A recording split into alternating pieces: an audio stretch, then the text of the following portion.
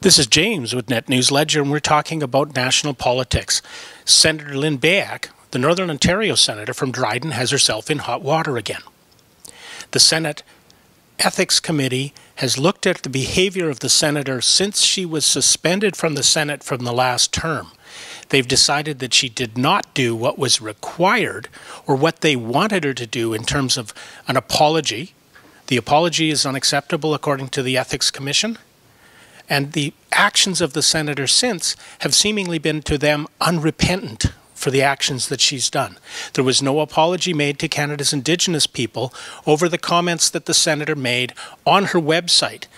So, the Senate committee is now looking to have Senator Beyak suspended again without pay from the Senate committee.